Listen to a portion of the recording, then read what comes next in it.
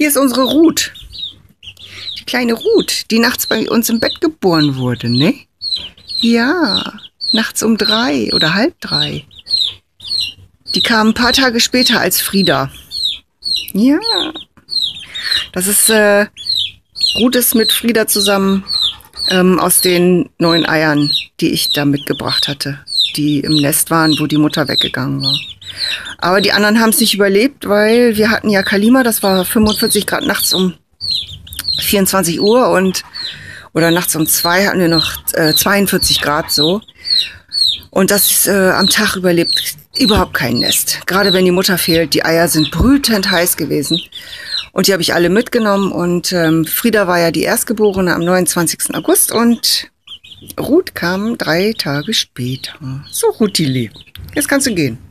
Ja, jetzt habe ich dich auch drauf. So, komm. Na komm. Na komm. Na komm. Hopp.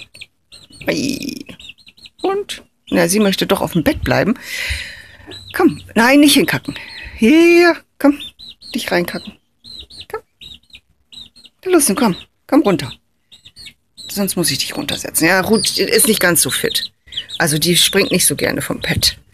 Gut, normalerweise dürfen die nicht auf dem Bett sitzen. Aber jetzt wollte ich mal eben für euch ähm, Porträtvideos machen. Alles klar, bis bald.